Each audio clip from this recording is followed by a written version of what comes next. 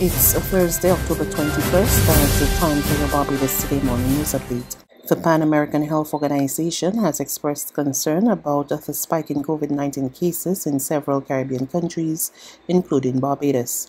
In fact, PAHO Director Dr. Carissa Etienne, during her weekly press conference held on Wednesday, described the situation as severe. She said there was a need for countries to continue to track and manage infections closely to detect and minimize community transmission. The Dominican Republic and Barbados are reporting over 40% jumps in new cases over the last week. In fact, half of Barbados's cumulative COVID infections since the pandemic began have been reported in the last month. Puerto Rico, Trinidad and Tobago, and Martinique are also seeing a jump in new infections. And cases remain high in St. Martin, St. Kitts and Nevis, Anguilla, and the Cayman Islands. So we continue to urge countries, especially those in the Caribbean, to maintain and prioritize public health measures to control the spread of COVID. These measures, along with widespread vaccinations, are the best option to control outbreaks. Dr. Etienne said while overall vaccination coverage had reached 41% in Latin America and the Caribbean, surveillance will remain key to identifying new risks and responding to local infection hotspots. Surveillance has always been the eyes and ears to guide our COVID response. From when the first case was detected in our region, as we navigated our pandemic peaks, and as we continue to track emerging variants. As we look to the future, surveillance and early warning, integral components of disease control, will remain essential to identifying new risks and managing and responding to this next phase of the pandemic. To improve and evolve epidemic surveillance in the region, countries must act locally they must act smarter and act together. More and more, we're seeing how local hotspots, so to speak, are driving national trends.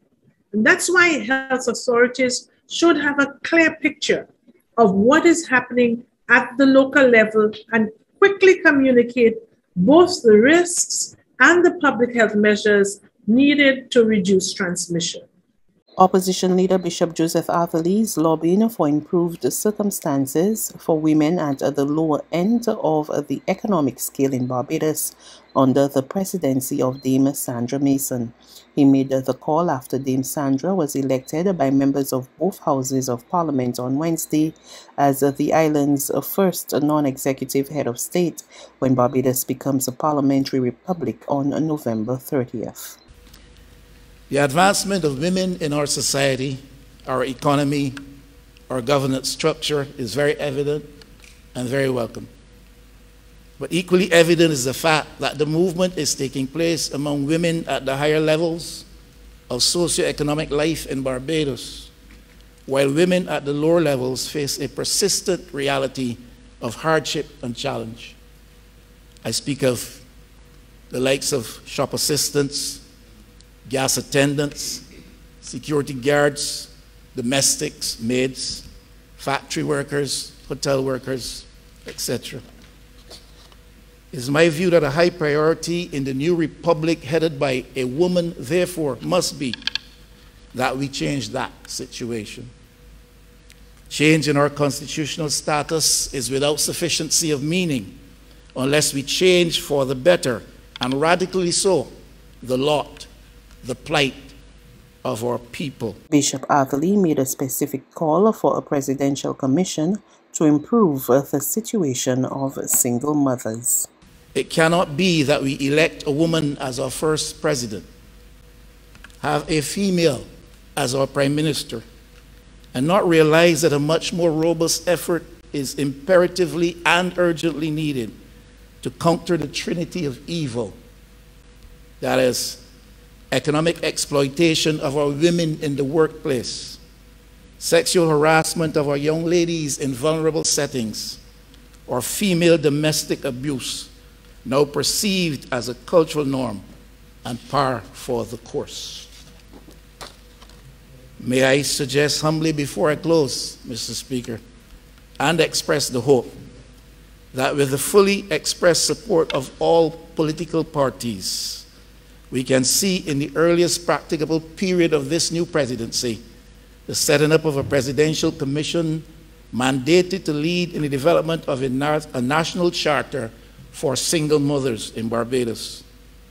Among our female population, this is a particular category of women with their own distinct challenges. The upcoming winter tourist season brightened again this week with the arrival of another flight out of the UK on the heels of an inaugural service from continental Europe. On Wednesday, Ireland-owned Aer Lingus flew directly out of Manchester to the Grantley Adams International Airport.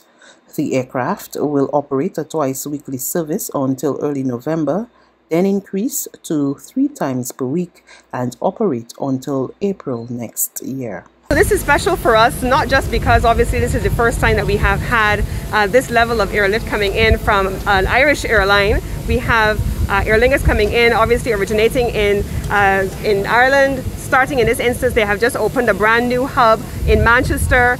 Uh, and this was the very first flight out of Manchester under the new Aer Lingus hub, and it was here to Barbados.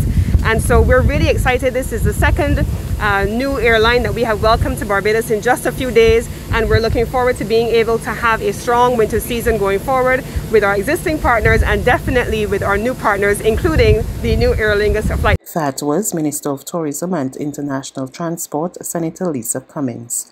She explained that while some hoteliers have been reporting cancellations due to the sluggish vacation rate in Barbados, this was not the case for the majority, adding that in many cases new bookings were making up for cancellations. We have not seen any uh, cessation in bookings for Barbados. In fact, what my understanding is from many of the, for the majority of partners in the industry is that our occupancy rates are high. They're certainly in excess of over 70, 80%, and some properties are actually full. We are seeing here at the Grantley Adams International Airport Every day, we're processing around 2,000 passengers. Most aircraft are coming in uh, with between 90 to 100% full. Sometimes you are unable even to get on a flight. So I think that if we were able to combine the additional airlift, the number of seats coming in on all of those flights, the fact that they're flying full, they have to be staying somewhere and they're staying in our hotel industry and our partners, and the majority of them are reporting that they are seeing very positive outlooks for the winter season. In fact, in some cases, some people have said September even is traditionally a really weak month for the tourism industry, but this year it actually performed quite well. There's regional and international news after this short break. Hi, my name is Michelle Thompson. I'm a visually impaired person. I am also a member of the National United Society of the Blind of Barbados. I am vaccinated I took the vaccination due to the fact that I am diabetic, I'm asthmatic, and I also have high blood pressure.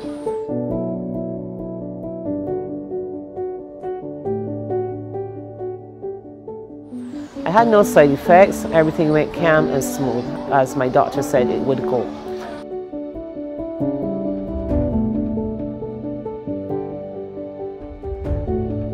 Please people, go ahead and do the right thing. Let's roll up our sleeves and get back to living.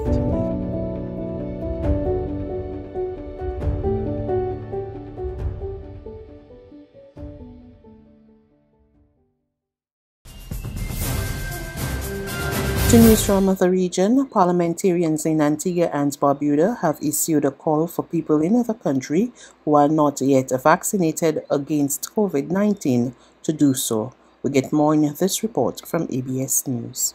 It's been a month since the implementation of the government's COVID 19 vaccine mandate. In that time, the number of those fully vaccinated has climbed by over 10,000. However, members of parliament are urging more people to come forward. as the race towards herd immunity continues. Minister with responsibility for social transformation and the blue economy, the Honorable Dean Jonas, warns the strain on the country's health sector is evident. Quite a few persons have died, you know, who have not had coronavirus.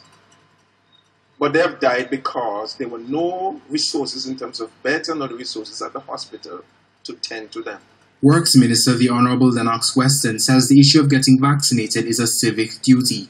Without mincing his words, he argues much of the anti-vaccination rhetoric is founded in ignorance. If you want to kill yourself, I tell you all the time, it's okay.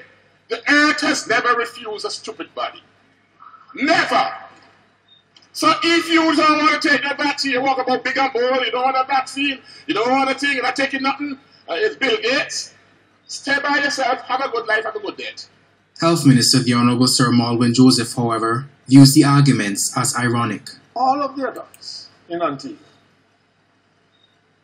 who are refusing to take the vaccine, they got it when they were children. They're going around with the measles, mumps, rubella vaccine in their system. And finally, the International Monetary Fund is predicting that inflation in Europe should subside in 2022. As such, the IMF is upgrading Europe's economic growth forecast, according to the head of the IMF's Europe Department, Alfred Kammer. Increasingly resilient recovery is taking hold all across Europe thanks to substantive policy support measures over the past year and a half.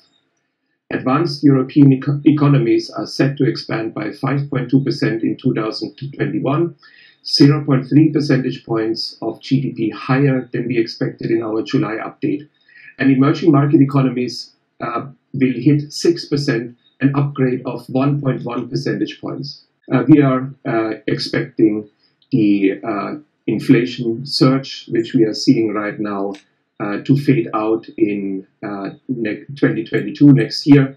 And therefore, we would actually expect that uh, there is very little impact uh, in the medium term on the productive capacity and the production of uh, the, the economy. That's news. But for the very latest, visit us at www.barbadostoday.bb.